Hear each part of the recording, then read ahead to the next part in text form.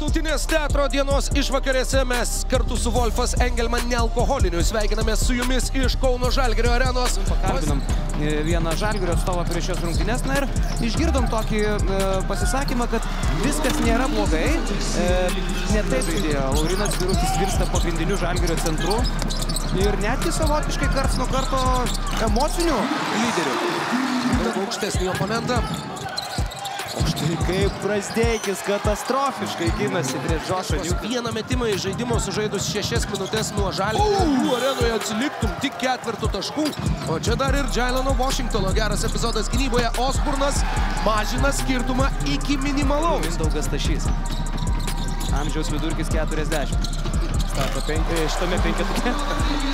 Tubinas gimė Kretingoje, o Kazys Maksvytis gimęs Darbėnuose Kretingos rajone. Taip, taip. Taigi Kretingiškių mitas. Gedraičia, tu prieš du su Biručiu, šartrolas atmestas kamuolys Lukošiūnų šis progalinė linija, labai gražiai sujuda kamuoliukas Žalgirio polime. Bam! O gytė ant tortuko. Izėja Osbornas kol kas tik tai penkis taškus pelnęs.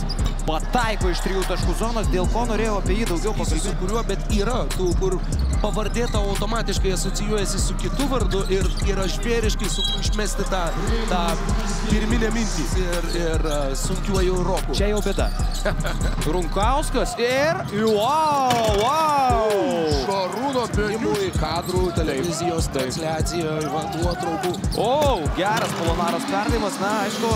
paskanduoti Žalgirio arenoje. Džošas Niukirkas neranda savęs, Polonara randa taškų su pražanga greitajame puolime. Niukirkas prieš šį Birutis, kur kas vikresnis Džošas Niukirkas, Birutis palaikė kontaktą, žinodamas Niukirko ir nebūdamas pačios geriausios formos. Bet tikrai dži- džiugu, kad du patikimi šaltiniai. Dar Sigė Osburnas. Į baudos aikštelę pro Igną Brasdeikį ir čia jau pastarąjį. Žalgiris gali jau niekur neskubėti, bet kam neskubėti, jeigu dar gali pradžiuginti žiūrovus. Žalgirio jaunasis ir galius jau rungtynėmis nebelabai susidomėjęs. Šarūnas Beniušis mažina skirtumą su Kazakausku. Pats pasikviečia keistis, atrodo toks linkęs bendrauti, netylus žaidėjas. Tai irgi svarbu krepšinį.